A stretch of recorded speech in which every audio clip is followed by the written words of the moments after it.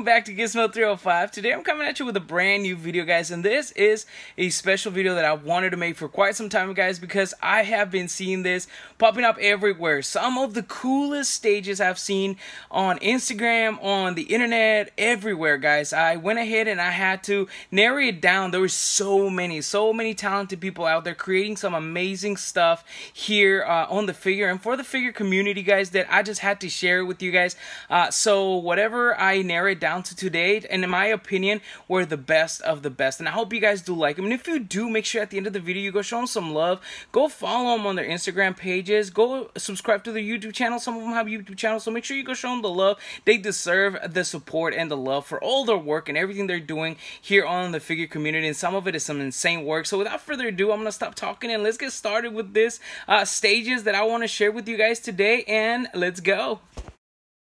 Alright guys, and let's get started here today with Stages WWE and his WrestleMania 24 stage guys. And as you can see right there, man, he put in all the work into this stage. I am really impressed uh, as to how this turned out. And as I was looking at it guys, look, every single little detail all the way down to the palm trees as you guys can see right there uh, from that stage at WrestleMania 24, which is literally spot on. I mean, like, the only thing that I, you know, would have said it would have made this so much much better is that you know eventually you know put in some sort of lighting uh, around it you know kind of like how I use on my stage. You guys have seen how there's those strips lighting that you can put around this stage. That's the only thing that I could just you know kind of add on to this you know to make it a bit better. But you know that's why it was one of my picks is because of you know how amazing this looks and an amazing work the stages WWE put into this WrestleMania 24 stage and it just it looks unbelievable. It just looks amazing guys.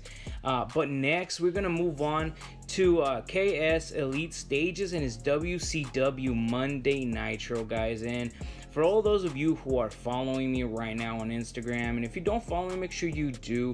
You know that right now I've been doing a lot of WCW Nitro themed pictures that I've been posting up there, and yeah, guys, this right here looks unfreaking believable. I just, I just love everything about this stage, guys. I mean, like this guy went all out. As you can see, it's to scale to how WCW Monday Nitro uh, used to look like. Him putting the Sting figure right there to show us just that, guys. As you can see right there.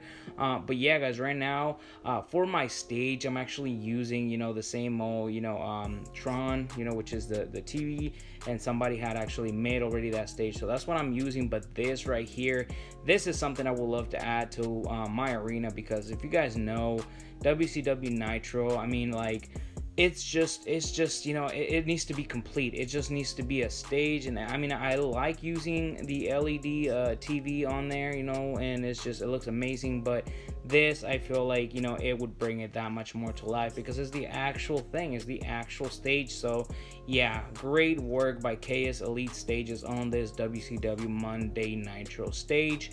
But with that guys let's move on to the next one and it's WWE Universal Paralelo right here coming at us with this Raw is War stage and holy cow guys if you guys don't follow this guy on Instagram make sure you guys do because he does real stage uh setups guys. Like he actually brings the stage what you would see on a monday night raw.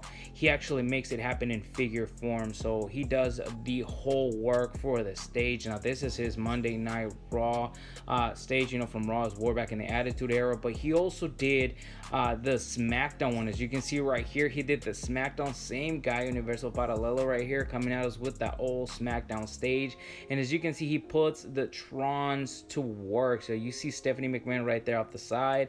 Uh, on the very back, on the centerpiece of the stage, you do see the SmackDown uh, as you would see it on, you know, UPN back in the day. You know, you would see it going on the back right there, you know, the SmackDown logo, uh, LED on the back or, you know, uh, the screen, the projector screen. But yeah, man, look at the lighting, the light rig on the very top of the stage. I mean, he touches every single little detail. So if you go to his page, actually, you can actually see him uh, uh, how he actually, you know, he has videos up there of, of how it all works when he puts, you know, someone's entrance or someone's music and it just looks unfreaking believable. He also uses this little screen just to show you that is an actual uh, either a TV or a monitor that he uses uh, first. Like he, he does some gaming from time to time. So that just looks unfreaking believable. And I just really love this stage. But with that, we move into the legend himself, stage creator. And of course, you have to be on this video, right? So we're bringing him up here with the 2002 to uh, Monday Night Raw stage right here from the Ruthless Aggression era, as you can see right there. I mean, this guy put in all the work. The TNN right there on the side of stage, that's what really, that's the a little detail like that, guys, is what gets gets me right. Like it just, I really love little things like that. And here we have it. Uh, the attitude, I mean, not attitude? What am I talking about? Ruthless Aggression era Monday Night Raw stage right there. Now he does have the announcers, uh, and as you can see right there, you know, the only thing missing would have been you know, just the Raw logo going across the Tron and as well as, you know, on the Minitrons.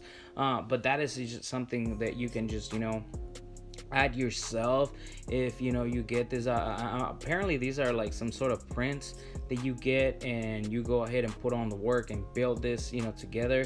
But here we go. He's showing us you know how it looks to scale with the action figures as you can see right there and it just looks amazing guys. I just really love how the figures actually are to scale to the stage and it's just like if you go to his youtube channel guys i'm sure he has a tutorial um, on how to build this. So if you guys want to go ahead and you know go and build this for your own selves uh, which i'm probably well not probably most likely gonna do because i mean it just looks phenomenal guys i just love everything about this stage and i'm a big uh, ruthless aggression era kind of fan because i mean that's basically what I grew up on. I mean, I did catch on on a lot of Attitude Era, but you know, I watched the entire Ruthless Aggression Era, and this right here is just unbelievable. I mean, I just love every single thing about this stage.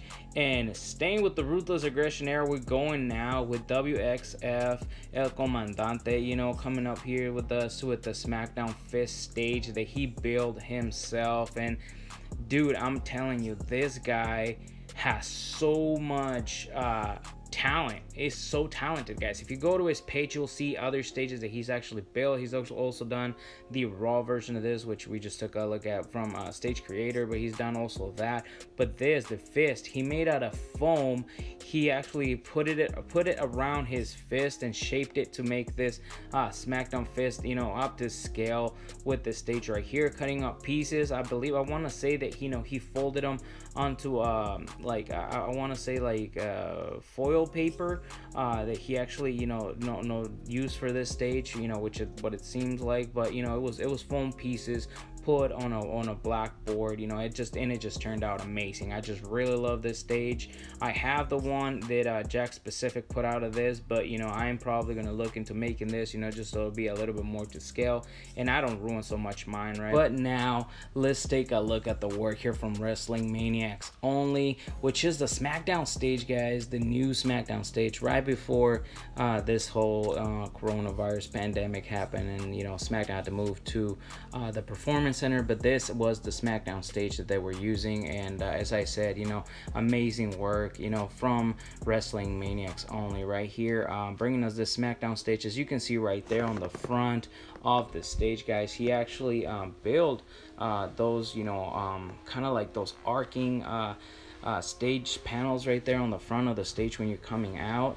And I do believe the the back uh, of it is also a you know either an LED or a 4K TV screen uh, where he also plays the superstars entrances. Um, but here let me show you how the ramp looks and uh, kind of like you know the whole stage area right there. Um, he added those lightings as you can see on the side you know just to bring the actual real stage that you would see if you attended to a SmackDown show like I said before, you know prior to the pandemic uh, how would SmackDown look? And I was actually there guys on this very first Smack when they just debuted this uh, stage in LA and I can just tell you this looks freaking unbelievable. I really love everything about this stage mainly those lightings off the side you know every like I said detail for me is key and you know he just knocked it out of the park with this SmackDown stage And that was the video for today, guys. Such an amazing set of stages. I hope you guys did like it. And if you did, remember, give me a like. Subscribe if you're new to the channel. Make sure you turn on notifications. Let you guys know next time I will be uploading here on YouTube. It's been Gizmo305. I'll talk to you guys on my next video. Bye.